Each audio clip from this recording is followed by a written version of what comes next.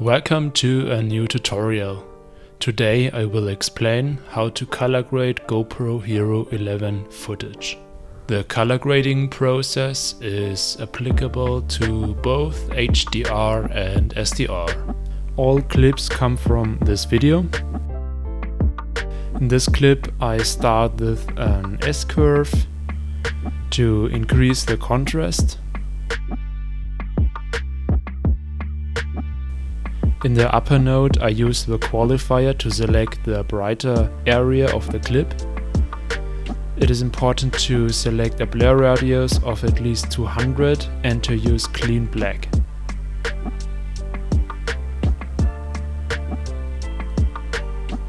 Next I go down with lift and up with gain. I also desaturate the area a bit the settings increase the contrast and the details without affecting the darker areas. In the lower node I select the dark areas with the qualifier and also use a blur radius uh, of at least 200 and add a bit of clean black. Again I go down with the lift and up a bit with gain after that the color grading is done. In this example I start again with an S-curve.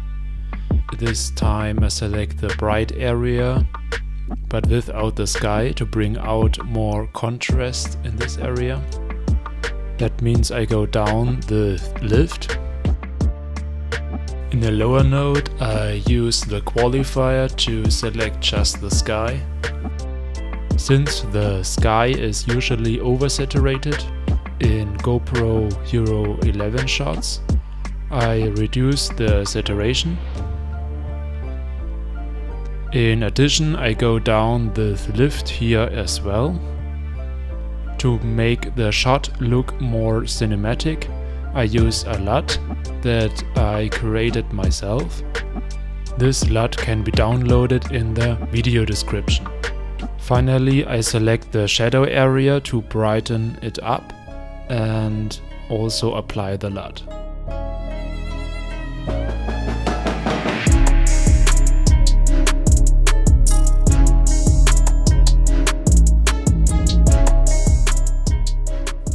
Most of the time it is a similar procedure.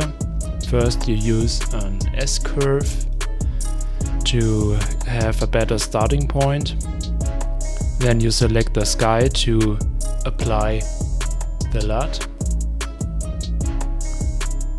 Add more contrast.